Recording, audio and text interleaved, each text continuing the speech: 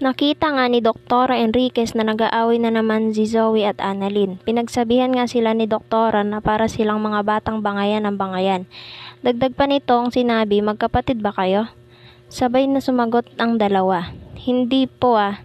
Samantala napansin ni Zoe na maayos naman si Susan. Nagpapanggap lang pala na may sakit ito. Pilit ngang pinatayo ni Zoe si Susan. Pinigilan naman yun ni Annalyn at sinabing huwag mong sasaktan ang lola ko. Pagtatanong naman ni Zoe na lola niya pala yun. Sa kabilang banda naman, sinabi ni Lynette kay Josa na pinagbantaan ni Michael si Dr. Nyag na layuan na siya. Kaya naman na-realize ni Josa na tama nga si Chrome na ginagamit ni Michael ang nalalaman niya para tuluyang maagaw ni Michael si Lynette kay Dr. Nyag. Dumalaw naman si Chrome sa hospital at nakita si Susan. Tinanong naman ni Chrome kay Annalyn kung alam na daw ba ito ni Lynette. Sumagot naman si Annalyn at sinabing hindi pa.